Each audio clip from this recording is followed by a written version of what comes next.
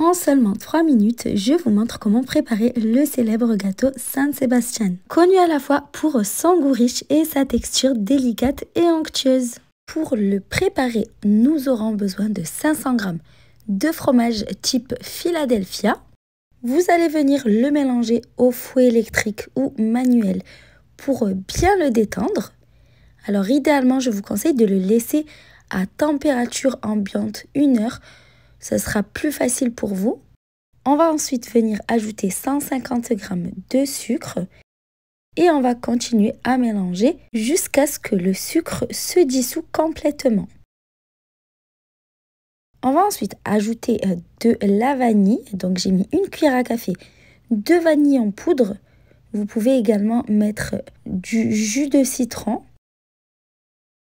Et on va ensuite venir casser 4 œufs un à un.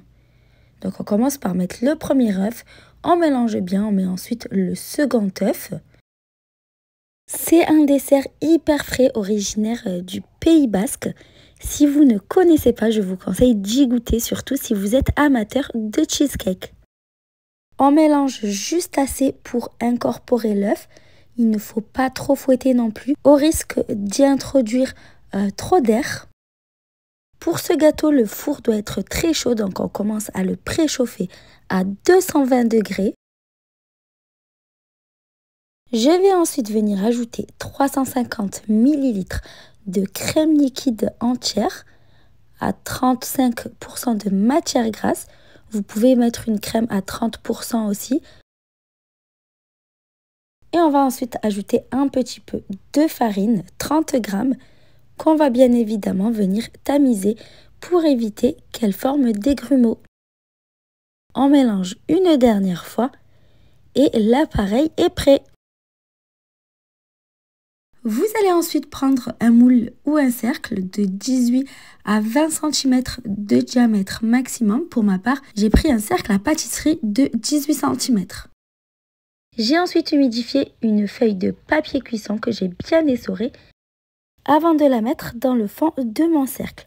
Je viens ensuite faire couler l'appareil à cheesecake. Je rabats bien les bords vers le haut pour éviter que ça coule et on enfourne à 220 degrés pendant 40 à 45 minutes. Je vais ensuite préparer une ganache au chocolat en faisant fondre 90 g de chocolat noir avec 40 ml de crème liquide entière.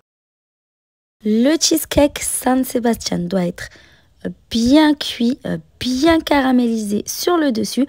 On va le laisser bien refroidir à température ambiante avant de le placer au réfrigérateur pour 3 euh, heures minimum.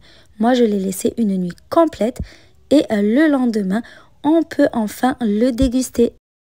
J'espère que la recette vous a plu. À bientôt